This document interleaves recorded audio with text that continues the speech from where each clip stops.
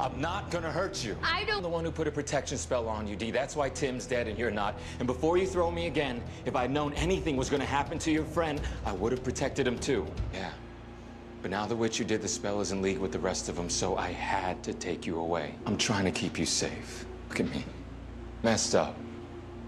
All this power that you have, it gave me an advantage. And I let that mean too much. All right, but that's over with now. One survivor to another.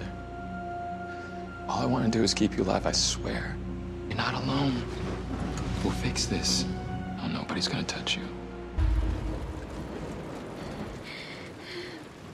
Well, and when it's over, I'll do what I should have done and get you out of town.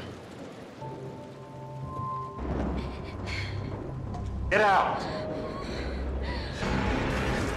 This. Promise her I'd fight for her. I'm not breaking that promise. No one is asking you not to fight.